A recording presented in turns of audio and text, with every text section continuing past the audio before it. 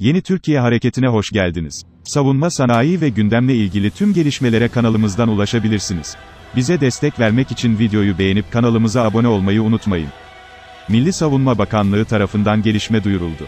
Bakanlıktan yapılan açıklamada, havadan bağımsız tahrik sistemli denizaltı projesi kapsamında inşa edilen ilk denizaltı Piri Reis'in 6 Aralık'ta deniz testleri başladı.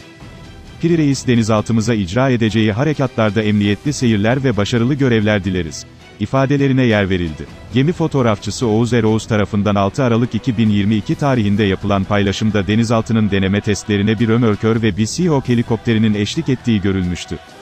Uluslararası literatürde Type 214 teranewton olarak geçen denizaltılar ilk olarak cerbe sınıfı olarak adlandırılmışlardır.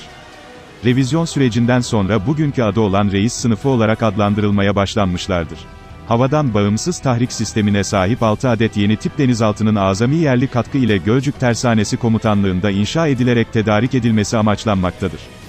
Reis Sınıfı Denizaltı Tedarik Projesi Haziran 2005 tarihli Savunma Sanayi İcra Komitesi kararıyla başlatılmıştır. Sınıfının ilk denizaltısı olan TCG Piri Reis denizaltısının havuza indirilmesi 22 Aralık 2019 tarihinde Cumhurbaşkanı Recep Tayyip Erdoğan'ın da katıldığı bir törenle gerçekleştirildi. TCG Piri Reis denizaltısının bundan sonraki aşamada havuzda donatım faaliyetleri devam edecek ve denizaltı sırasıyla fabrika kabul, liman kabul ve deniz kabul testlerinin ardından 2022 yılında Deniz Kuvvetleri Komutanlığı hizmetine girecek. TCG Piri Reis tam anlamıyla faaliyete geçmesiyle TCG Hızır Reis'in denizaltısına odaklanılacaktır. Her bir denizaltının teslimi, 42 ay inşa ve donatım, 9 ay liman kabul testi ve 11 ay deniz kabul testi olmak üzere 62 ay sürecektir. Diğerleri de 12 ay ara ile teslim edilecektir.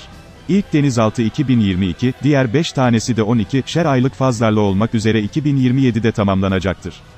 İnşa ve detay dizayn faaliyetleri eş zamanlı olarak yürütülmektedir.